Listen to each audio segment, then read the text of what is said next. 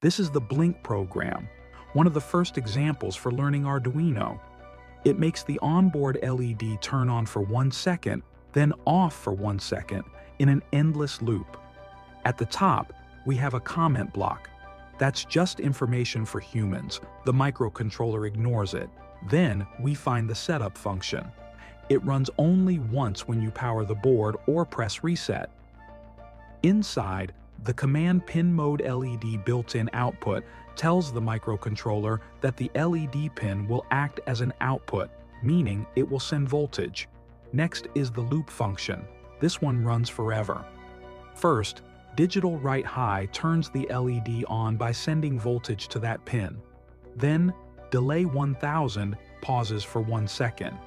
After that, digital write low turns the LED off. Another delay keeps it off for one second before repeating the cycle. Behind the scenes, every Arduino board has two kinds of memory areas inside its microcontroller. The first are general-purpose registers, small spaces where calculations happen.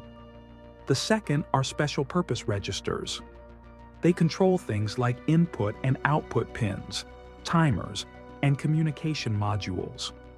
When you use commands like digital write or pin mode, the Arduino core actually changes bits inside those special registers to control the hardware directly. So even though this program looks simple, it's really a great example of how software instructions translate into physical signals that turn an LED on and off.